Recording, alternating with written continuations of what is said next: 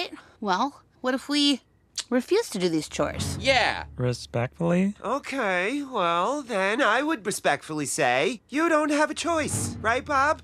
Uh, right. Well, then we're going to respectfully stop eating our vegetables. Gene, Tina, want to stop eating your broccoli? But I like broccoli. Tina! Right, sorry. Well, then you are respectfully not getting any dessert. Damn it. Okay, then we are respectfully not doing our homework. Ooh. You gonna play this game with Mama? Oh, yeah. Oh, good. But, Lynn, no TV means we don't get to watch TV. Show no weakness. They're gonna crack. What if they don't crack? I'm worried they're not cracking. Mm-mm. Nope, not brushing them. Mm. And if we get painful cavities, we'll be the ones laughing. Yeah. Wait.